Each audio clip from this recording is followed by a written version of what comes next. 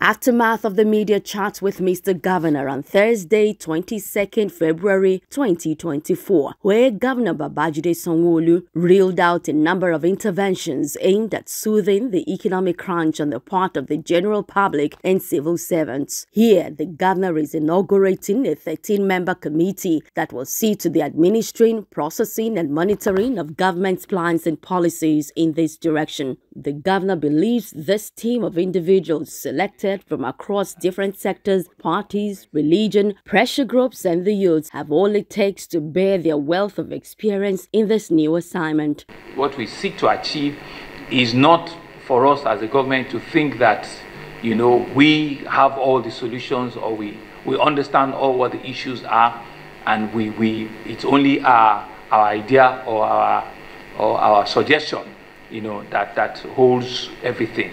Um, like we said, um, where, where institution where all hands must be on deck and everybody that has an idea or suggestion or that feels that we should do additional one or two things that wanted to and be able to reach out. The committee chaired by Governor Babajide Sanwo-Olu will have the Deputy Governor Dr. Obafemi Hamzat as the alternate chairman. Members include Chief Missioner Nasfat Abdulaziz Onike, Shei Shomi, member Labour Party and House of Reps member, Consumer Rights Advocate Shola Salako-Ajulo, Shina Fagbenro Byron, another Labour Party member and Algon chairman Kola Dialabi. Others are human rights activist Joe Okei-Odumakin, Taufik Ganio PDP PDP Secretary Ademola Shabi, member Lagos Assembly, representatives of the youths Billy Aminu Oba, Godman Akinlabi, senior pastor Elevation Church, and Kikelomo Bolarinwa, permanent secretary Ministry of Local Government, and she will also serve as the secretary to the committee. The governor thereafter went into a closed-door session with them to discuss the rules of engagement and modalities. Adetola Kayode, TV News.